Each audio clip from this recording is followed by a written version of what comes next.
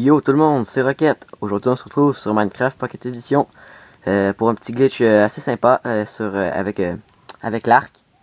Alors je vais vous expliquer tout de suite le glitch, comment il faut faire. Alors il suffit de tirer l'arc comme ça, de changer de bloc, puis de reprendre l'arc. Et voilà, le glitch ultra simple, le plus simple que j'ai jamais vu je crois. Alors votre, votre arc a maintenant une flèche déjà installée dessus.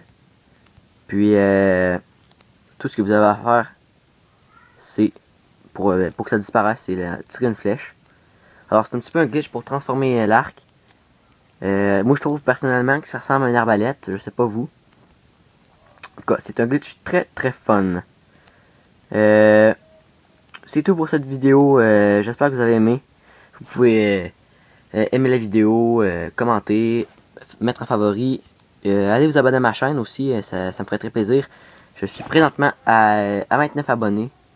C'est pas très gros, mais c'est quand même pas si mal. Alors, euh, on, va on va se retrouver pour une prochaine vidéo bientôt sur ma chaîne. Et moi, je vous dis ciao tout le monde